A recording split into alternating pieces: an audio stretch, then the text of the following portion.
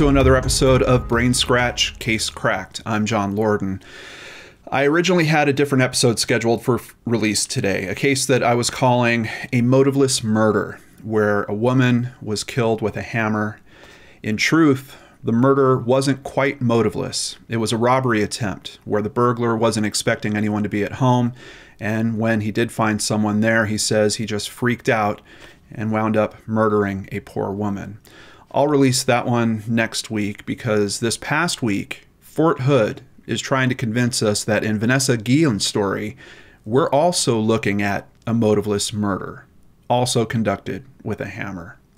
And just like in the original story I was going to release this week, the truth is there's always a motive. I want to thank a brain scratcher for sending me the affidavit for Cecily Ann Aguilar. It lays out enough of the investigation for me to think this case is completely solved with the exception of one question why? Let's see if we could figure this out together by reviewing the investigation notes of Jonathan Varga, special agent with the FBI.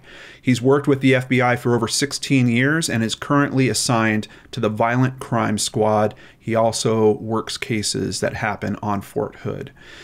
The investigation started on April 23rd when Vanessa was reported missing. A witness told investigators that she left the arms room she was working in to visit another arms room being controlled by specialist Aaron Robinson. It said that they were confirming serial numbers for weapons and equipment. That same witness confirms that Vanessa did leave her ID, bank card, and car keys in her armory and that the stuff was still there when they left for the day and secured the room.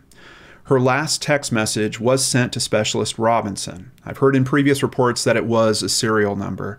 Agent Varga reports that Specialist Robinson was the last person known to have seen Vanessa. His story is that they worked together for a bit. He gave her a gun that needed to be serviced, and she left. He believed she was headed to the motor pool to give them some paperwork. People at the motor pool said she never arrived. Robinson said that after work on the day that Vanessa disappeared, he went home to his off post residence that he shares with his girlfriend, Cecily Aguilar. And he was there for the rest of the night, except for a quick trip he made at 6:30 p.m. to use a government computer to enroll in some training. I'm curious about those computer records. I wonder if they'll find that he was actually using the government computer for something else, but we don't have information on that. Two witnesses say that they saw Robinson moving a tough box. I think this is the Pelican box that we were talking about on last week's Brain Scratch. Uh, this box had wheels on it and he was moving it to his vehicle. He loaded it into his car and then drove away. Other reports I've seen state that this might have happened around 8:30 p.m., but this specific report doesn't state the time. Since Robinson was at home with Aguilar, Agent Varga was curious about their cell phone activity. For some reason, their phones were calling each other throughout that night, as late as 3:30 a.m. When the girlfriend, Aguilar, was interviewed on June 19th, she told the same story, saying, "Yeah, they were home all night." When asked about the phone calls, she said that she had lost her phone and Robinson was calling it to try to help find it. There's a problem with that story, though because the talk times when the calls were connected with each other were far too long for that to make sense. She was interviewed again and said she lied about her previous statement. Her story was now that she likes to take long drives to cope, and her and Robinson took a long drive together that night to Belton to look at the stars. And then they returned home. Belton is the area where the remains were eventually found. And the investigators traced the location of Robinson's phone and confirmed that it was indeed in that area around 2 a.m. that night. Aguilar's phone shows that it was also in that area on April 23rd and again on the 26th. Now, just as an aside to everything, I think personally that the phone calls happening between their phones throughout that night might mean they were at different locations, possibly while uh, the remains were being burnt or something like that. It could be that the girlfriend was sent as a lookout somewhere and they were calling back and forth. But that's just personally what what I think about the phone calls happening back and forth. The the information in the affidavit really doesn't specify what they think is going on with those phone calls. But the location data did lead to searches in that area. At that time, they did find what they thought was a burned site, and they found part of the burned tough pelican box. They did notice a smell at that time, but they couldn't find remains. Nine days later, contractors that were working on a fence called in that they discovered what appeared to be human remains. When they searched there again, they found scattered remains in a concrete like substance. Aguilar was interviewed again, and we get another news story from her. She now told them that Robinson told her he had struck a female soldier in the head with a hammer multiple times at his arms room, killing her on Fort Hood. He told Aguilar that Vanessa was placed in a box and moved to the Leon River. Aguilar said that Robinson picked her up from a gas station that she works at and took her to the Leon River. The box was already there. He opened it and showed her Vanessa's remains. The two of them then dismembered Vanessa's body and tried to burn it. The burning was unsuccessful. They placed the remains in three separate holes and covered them up. Now, if all that wasn't terrible enough, they returned to the site on April 26th with concrete purchased by Aguilar over Facebook Messenger. They uncovered the remains, removed them, continued breaking them down, tried burning them again, and then put the remains back into the three holes, this time topping them off with concrete. Aguilar said that when they got home, they burned the clothes that both of them were wearing. On June 30th, at the request of law enforcement, Aguilar placed a controlled telephone call to her boyfriend. Uh, I believe essentially that's where they've got law enforcement listening in, they're recording the call. He didn't deny anything that she said that they did to Vanessa over that specific call. Uh, he then later texted her pictures, pictures of news articles talking about the discovery of Vanessa's remains, and on another controlled call with Aguilar said, quote, Baby, they found pieces. They found pieces. Aguilar helped law enforcement track Robinson down when he fled the base and when he was approached, of course, you know, he pulled out a gun and ended his own life. The report also states that the identification of Vanessa's remains are still pending. Now, admittedly, a lot of what I just shared with you is Cecily Aguilar's information, but the pieces are certainly fitting together, and I think this is likely very close to the truth of what happened. She's facing charges for mutilation and helping to conceal Vanessa's body. The three things that we hear from true crime experts time and time again are motivations for murder are love, money, or power. And it makes sense. In some way, all of us are motivated by one or more of these categories in almost just about everything that we do. When we apply these categories to the story of a soldier being murdered by a fellow soldier, well, I'm not sure that money seems like a strong candidate. Admittedly, it's possible there was some financial arrangement that got out of hand, but I'm thinking it's probably not the case here. So we're really left with love or power. Now, what we're being told by Fort Hood officials time and time again is their investigation is not showing any sexual harassment going on. As a matter of fact, in their press conference on the case last week, it seems that something introduced initially as a quick side note takes the focus of the rest of the conference. The thorough investigation into sexual harassment will continue until it's complete and ready for the command's review. As an aside, the criminal investigation has not found any connection between sexual harassment and Vanessa's disappearance. There's also been a widespread allegation that Specialist Robinson was the su- superior of Specialist Guillen. This is false. Robinson was an armor who worked in a building adjacent to the building where PFC correction specialist Guillen worked, and he was in no way specialist Guillen's chain in, chain in her chain of command. We are still investigating their interactions, but at this time there is no credible information or reports that Specialist Robinson sexually harassed Specialist Guillen. We also want to be very clear we have no credible information or reports that Vanessa Guillen was sexually assaulted. We, were, we are not aware of any official reports of sexual harassment Specialist Guillen or any other soldier on her behalf when this important issue was first raised by the family. The Guillen family had, had made statements to the media concerning sexual harassment allegations, but again, we had no further information at this time of that claim. During the course of the investigation, and into the disappearance of Specialist Guillen, CID agents uncovered a statement on May 7th that could be considered potential sexual harassment. After subsequent investigation, another allegation of verbal harassment involved in the same individual was discovered. However, subsequent interviews has failed to corroborate this allegation. Nevertheless, we are still investigating. Specialist Robinson was not involved in these allegations. There has been no information, and we've interviewed uh, hundreds of people, to include all acquaintances and, and, and coworkers of, of Miss Guillen. So there's no allegation whatsoever that she's been sexually ass- assaulted or harassed. And any hint of information that, that was sexual harassment was completely looked at without any credible information.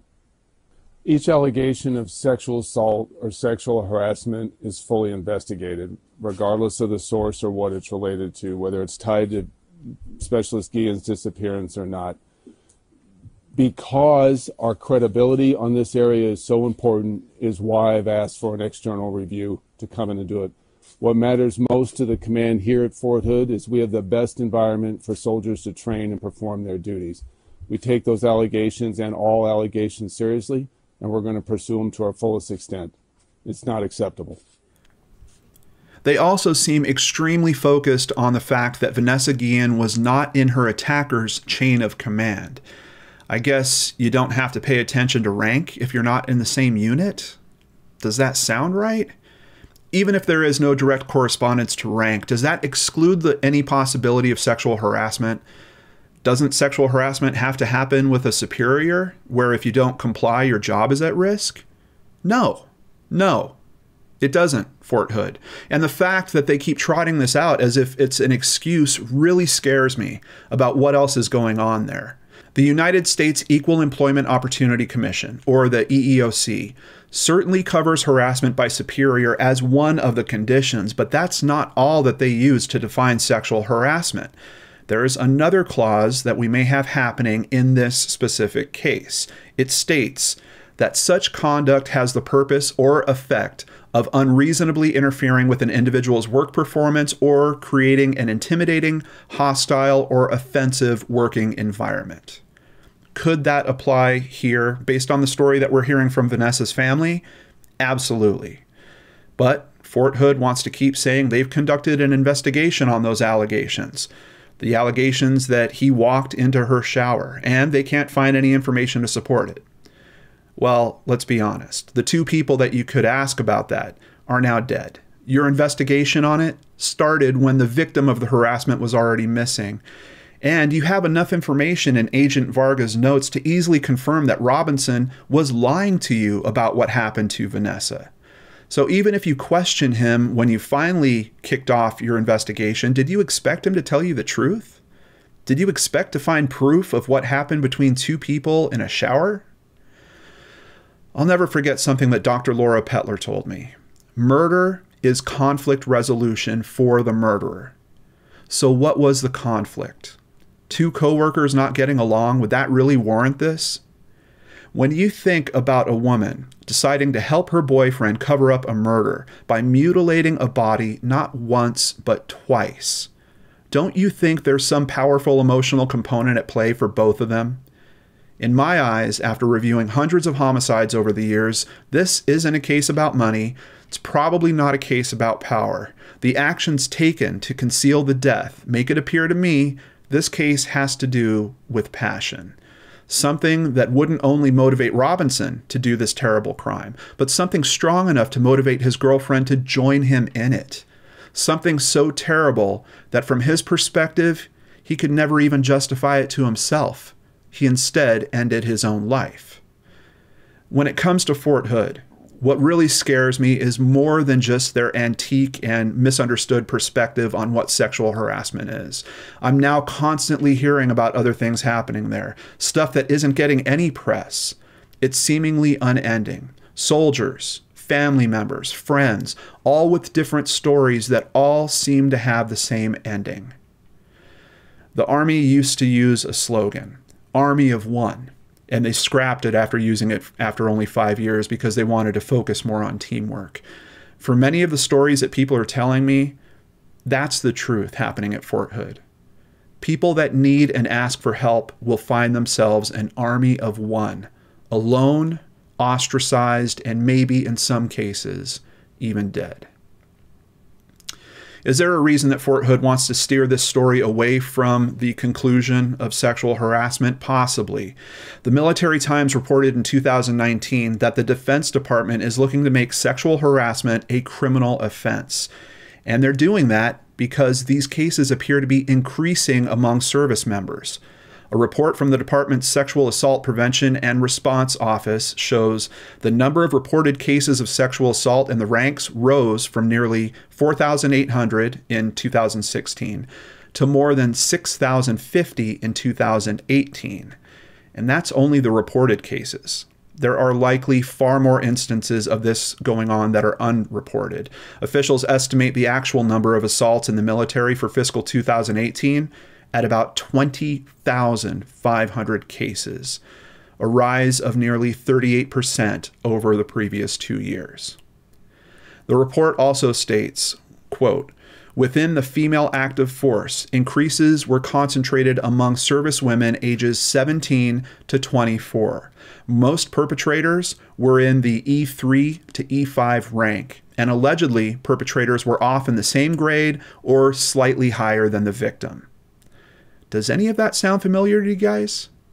I believe Robinson was actually an E4, and before her recent promotion, Vanessa was an E3 and 20 years old. And I'll leave you with, with this. That recent promotion that Vanessa got to specialist that happened on July 1st, now that you know the time frame of the investigation, the rank of the man that murdered her, the recent focus by the Defense Department to criminalize sexual harassment, was that promotion really to honor Vanessa? Or was it so that when people read about this case years down the road, history shows that the killer and the victim were actually the same rank? Totally not sexual harassment, right?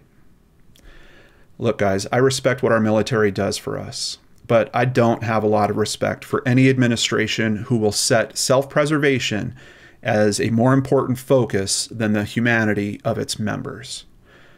Of those three main motivators that we talked about today, that are the usual push for murder, money, power, or love, what do you think is the motivating factor driving Fort Hood? In terms of Vanessa Guillen, I consider this case cracked. And for her friends and family, our hearts are cracked too. Thank you for caring so much about this case. And thank you to everyone that's been helping me come to a better understanding of, of all this. You are all heroes in my book. I'll see you again on the LordanArts channel.